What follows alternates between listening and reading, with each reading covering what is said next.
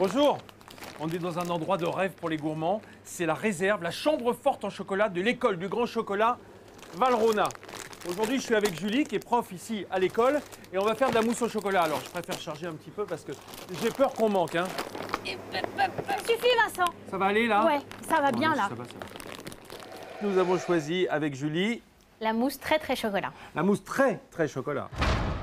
75 grammes de crème, Ok. 150 grammes de chocolat noir, Ouais. et puis là on va mettre à monter 6 blancs et on va garder deux jaunes. Alors, on va prendre un chocolat noir à 70%. 70% de quoi? Alors 70% de cacao. Euh, c'est un mélange en fait de fèves de cacao, Oui. de sucre oui. et éventuellement un ajout de beurre de cacao. Donc là, on fait fondre le chocolat doucement, on évite en fait que le bain-marie soit bouillant. Ah, C'est un œuf, on va s'en servir pour la mousse.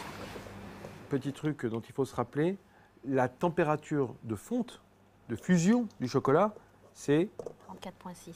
34,6. C'est même pas la température du corps. Donc là, le chocolat est chaud.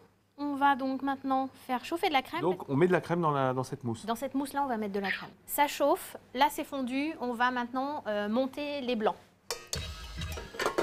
À quoi ça sert le sucre là-dedans? Ça va stabiliser en fait nos blancs et les meringuer.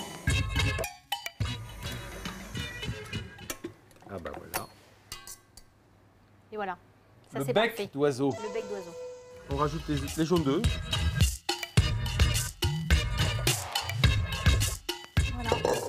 Et là délicatement, du milieu vers l'extérieur, milieu extérieur, milieu extérieur, milieu extérieur.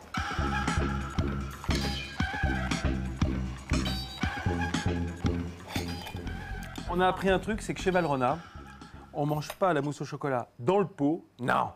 On s'en sert de pâte à tartiner sur la brioche. Hop, qu'est-ce qu'on peut rajouter? Des petites perles croustillantes. Vas-y, te gêne pas, Julie. Et voilà. Voilà. Tu vas me regarder manger?